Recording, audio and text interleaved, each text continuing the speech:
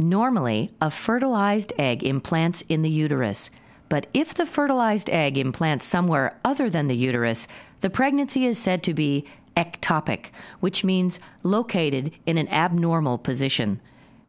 When an ectopic pregnancy occurs, the fertilized egg usually implants in one of the fallopian tubes. Because the fallopian tube is narrow and its walls are thin, the pregnancy only has to be about the size of a jelly bean before the fallopian tube bursts, causing major bleeding.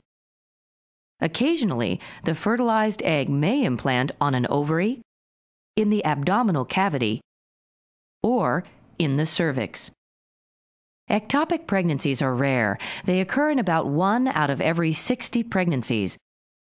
There are certain risk factors that make an ectopic pregnancy more likely.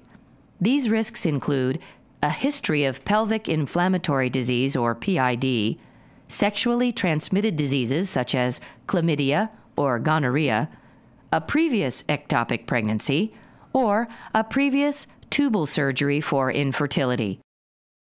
Treatment of an ectopic pregnancy, either medically or surgically, is necessary to prevent serious, even life threatening complications.